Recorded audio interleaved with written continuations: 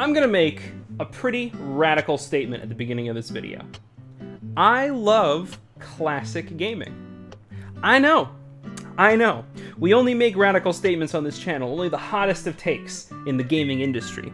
So, to show my love of classic games, I went out with my own money and I purchased this NES.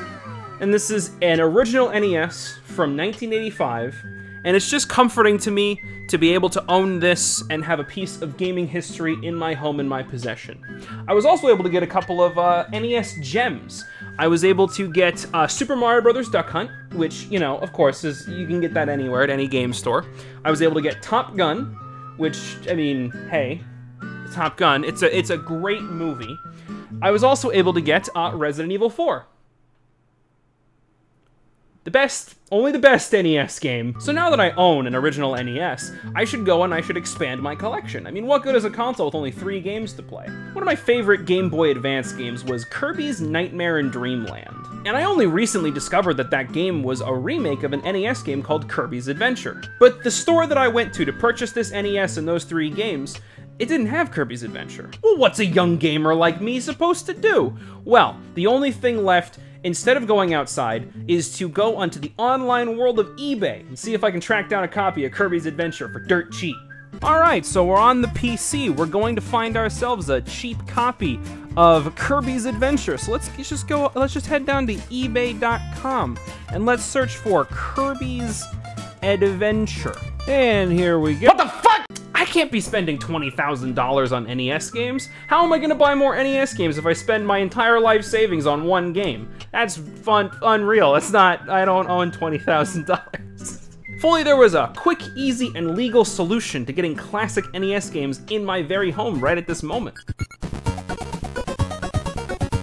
Aren't you supposed to be dead? Okay, so memes aside, there are a lot of video games out there, and most of which we'll just never be able to play. They could be trapped on a console that just didn't sell very well, or they could have had a limited release, or, if we're talking in the modern age, they could have been pulled down from digital storefronts just for some bullshit copyright disputes. But what if you actually wanted to play those games? Well, there's a very simple solution to that. Actually, I don't think what I'm saying is coming across very well. Maybe I should break down what I mean. You know what? I'm gonna go do that right now. Y'all just hang tight.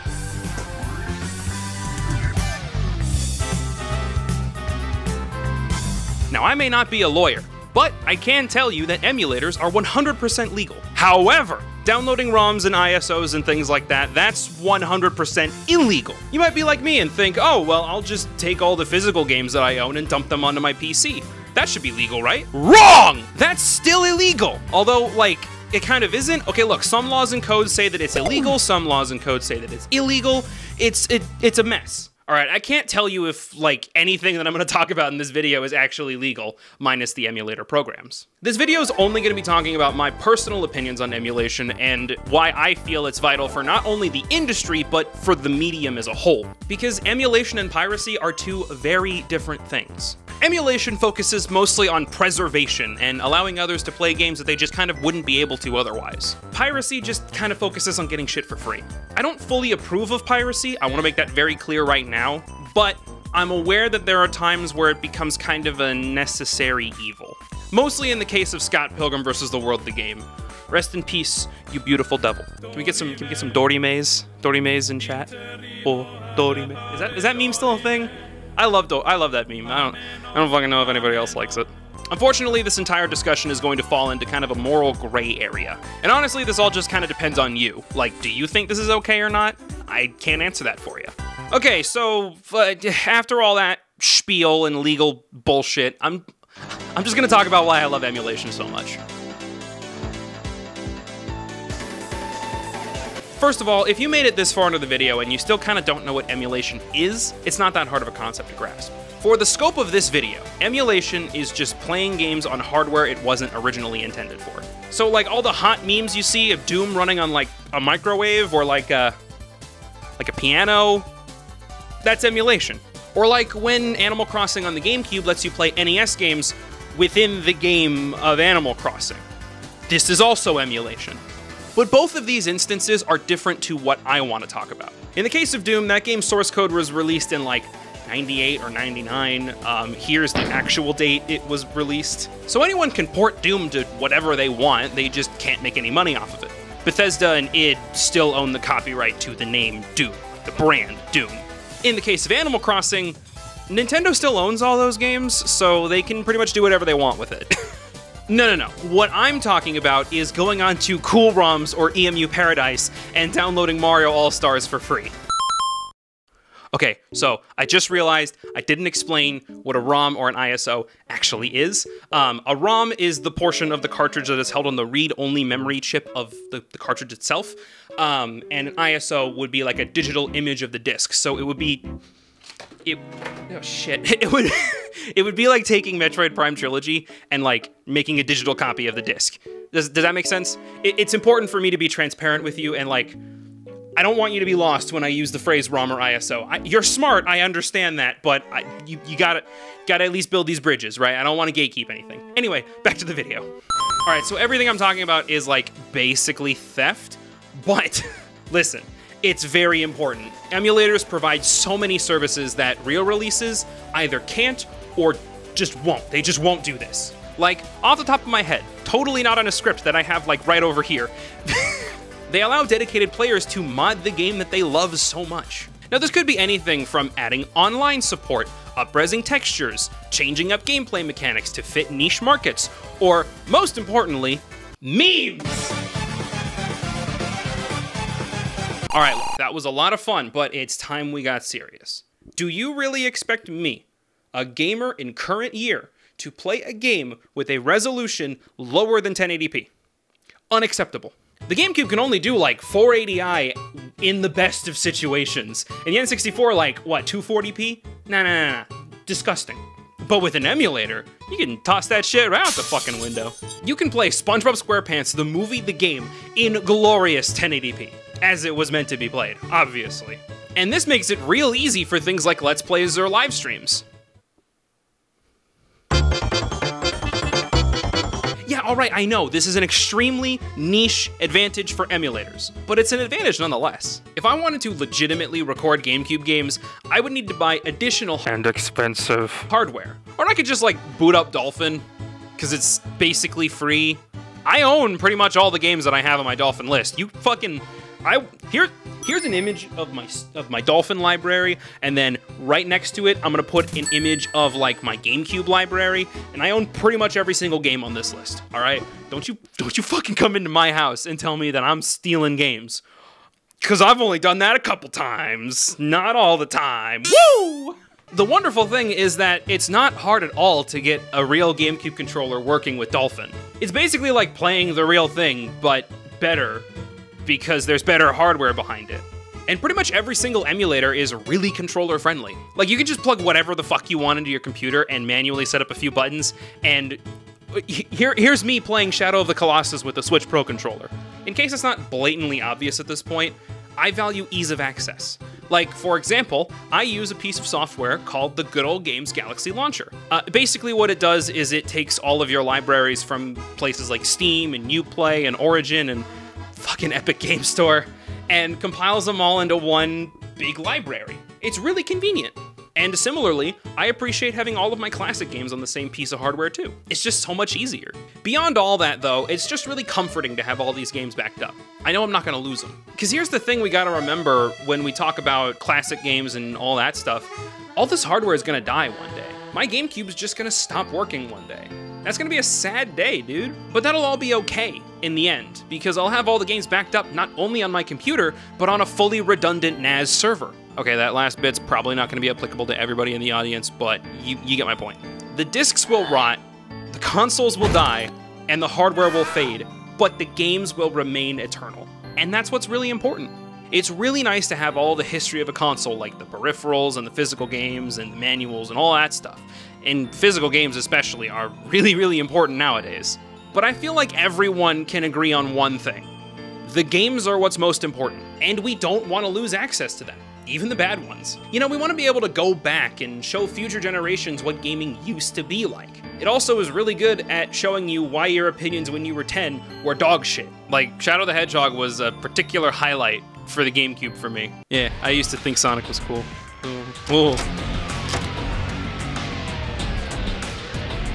Okay, so I've talked a lot about Dolphin in this video, and you might be thinking, well, what the heck is that?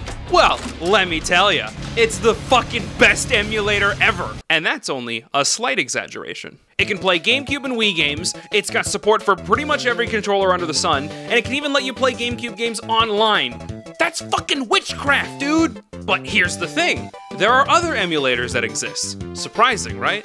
And I personally have experience with PCSX2, Project 64, and BizHawk, and by extension Mupen, and eh, it's a little weird. And I've had little trouble with all of them, minus Project 64 not being able to detect my Switch Pro controller. I'm still kind of I'm still kind of butthurt about that, but it's not that big of a deal.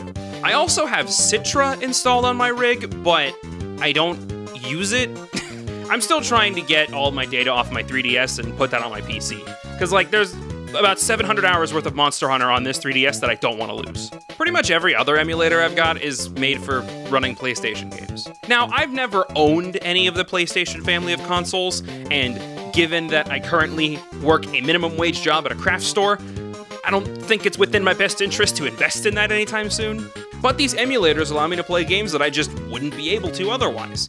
Yeah, games like Symphony of the Night and Shadow of the Colossus and Mother motherfucking Godhand!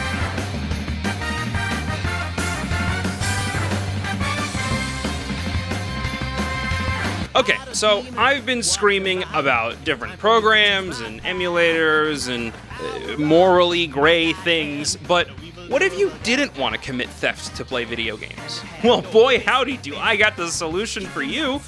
These little gizmos.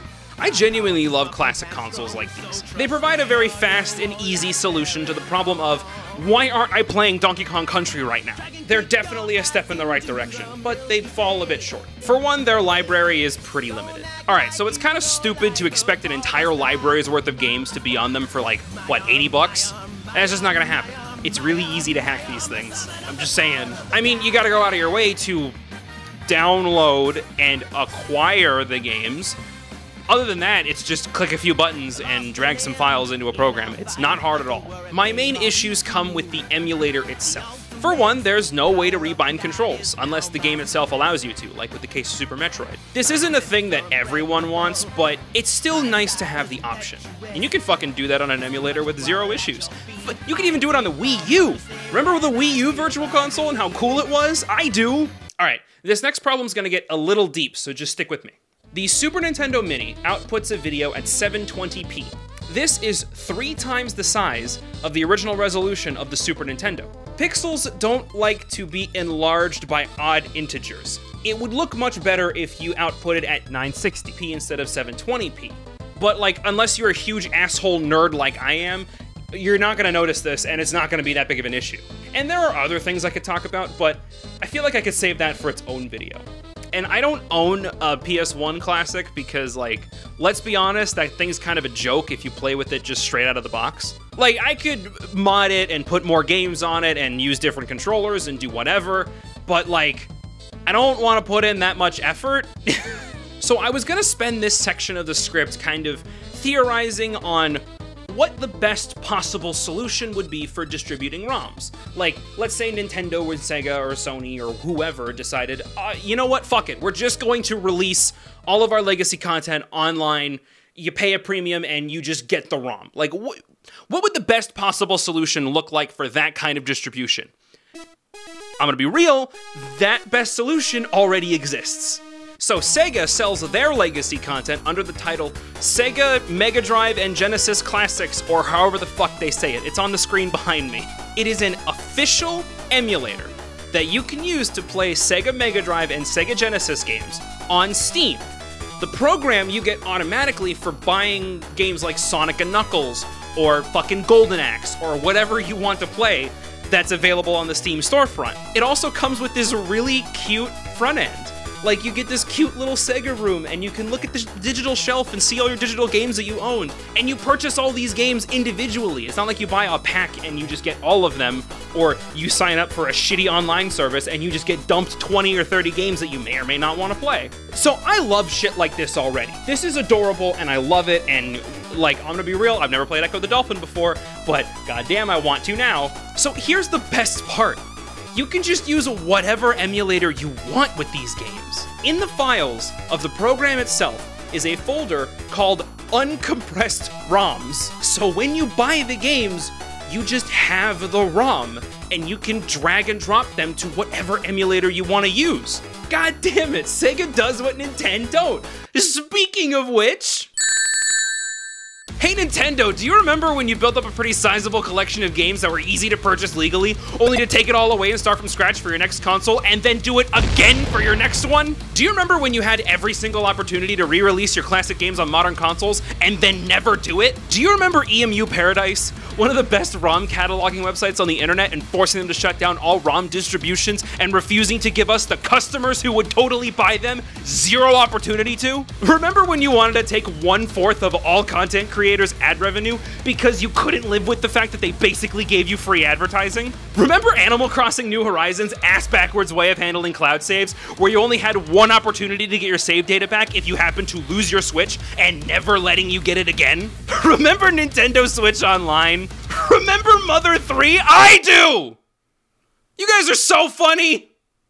Okay, fuck. I back to rationality, I guess. I understand all the things I just complained about seem kind of entitled, like, oh no, Nintendo needs to bend over backwards for me, the mighty consumer. But uh, look, there's a reason. I've spent this whole video talking about emulators and why they're cool and why I use them and yada yada yada, so why would I even care about Nintendo Switch Online or any distribution that is legal? Because emulators are a pain in the ass to set up. Emulation, with all that it has going for it, just can't compete with a well-designed and streamlined storefront or virtual console or whatever. Most consumers don't want to put up with anything that I talk about in this video. They don't want to have to think about emulators, or programs, or ROMs, ISOs. They just want to turn on the thing and make the game go. And there's nothing wrong with that. And as I said in GameCube is Special, which you should totally go watch by the way, I appreciate being able to just pop a game in and play. And there are times when I'll put up with it. Like, I'm gonna be honest with you, if I can get Majora's Mask to run with a really good texture pack on my PC at 1080p, I'm gonna fucking do it. Look at this. I'm gonna have a link to this texture pack in the description because god damn it, it's fucking awesome. But most of the time, I just don't want to. So I'm giving everyone who's watching this video a fair warning. I have a firm belief that emulation is worth it, but I'm still gonna advocate for a proper return to the virtual console. Video games are so much more than just products to sell. They're art. They deserve the same respect that pieces like the Mona Lisa get. Like, holy shit, we spend so much time trying to preserve old art and all of these older pieces that come from bygone eras, and it is worth it, I do agree. But like, we can't just sit back and look at the art that we're making today and just think, oh, who cares? Those who care don't want to lose access to these games. We want to be able to show them to future generations and say, hey, that happened. Shadow the Hedgehog happened. My point is, it should be easy for us, the people who play the games and attach our memories to them, to just be able to play them without having to worry about morality or I can't get this game anymore, or God damn it, this game is now worth $3,000, why did I throw it away? Like, no one should have to worry about that. I'll have links to all of the emulators I spoke about in the description below. I can't put links to games, that would be illegal, but you can figure out your own way to get ROMs and ISOs. You're smart, I believe in you.